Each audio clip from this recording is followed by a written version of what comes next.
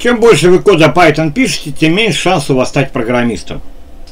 Здравствуйте, ребята. У вас каждый свой опыт. Кто-то писал э, полгода, кто год. Ну, как, как дела? Документацию читаете? Нет.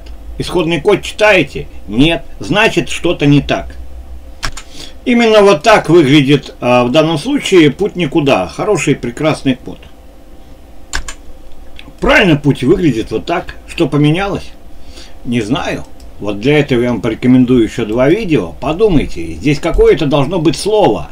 Два видео, скучные видео, сразу скажу. Ребят, что для вас важнее, код или навык? Когда пишем код, почему-то не получается читать исходный код. Когда идем через навык, все складывается. Смотрите, это два видео в описании, скучные видео –